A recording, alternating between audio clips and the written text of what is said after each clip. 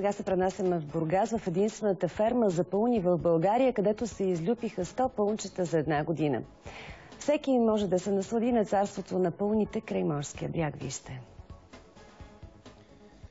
На 100 декара овощна градина с административна сграда като замък и близо 250 пауна, фермата на Кръсто Дъбов е атракцията по пътя от Бургас за Слънчев бряг през Каблешково. Намира се в така нареченото селище Мина Черно море и вече е станала притегателен център за туристите през лятото. Осем години след началото фермата продължава да е единствена в България и с най-разнообразната колекция в Европа, твърди собственикът Кръсто Дъбов.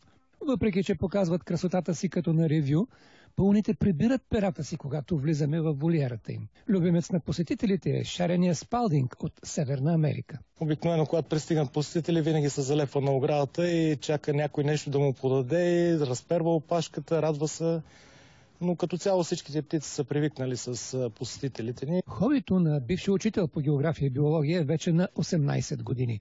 Обяснява го като колекционерска страст. За ценност може да се говори както при колекционерите една монета, която за мен не представлява никакъв интерес, за друг е изключително ценна. И оттам нататък вече и цената на птицата. Тези, които са по принцип най-широко разпространените, те са достъпни за абсолютно всеки. Цената варира между 100 и 200 лева, което е съвсем приемливо за човек, който иска да се занимава или да отглежда пълни. Иначе цената на екземпляри от редките породи може да стигне до няколко хиляди долара за чифт млади птици. Пълните са от всички континенти по света. Ако дойдете през май, ще получите и пълново перо за спомен. Тогава птиците сменят перата си и земята под тях става като килим. Отправя покана Кръсто Дъбов.